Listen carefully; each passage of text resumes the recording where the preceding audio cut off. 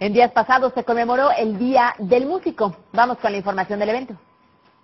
El Sindicato Único de Trabajadores de la Música del Estado de Puebla realizó su tradicional comida baile en el marco de la celebración del Día del Músico. Significa una responsabilidad muy grande, pero sin embargo hemos estado trabajando sobre todo con la educación musical, que eso lo queremos traer también aquí el Estado de Puebla. La secretaria general del Sindicato de Músicos en Puebla expresó. Imagínate, tener a nuestro líder nacional y por supuesto a todos los compañeros, amigos, a toda la comunidad poblana de los músicos feliz. Todos los invitados recibieron con gran entusiasmo al líder de la Confederación de Trabajadores de Puebla, Leobardo Soto Martínez. Un honor que nos visite todo el Comité Ejecutivo Nacional del Sindicato de los Músicos, aquí con nuestra líder estatal, Marta Cuevas, Comité Ejecutivo, y funcionarios tanto del gobierno federal como del gobierno estatal y municipales, todos en unidad en torno a la música y reconocerles su trabajo, que somos la organización más importante para los músicos en el país. Por la emancipación de México, CTM.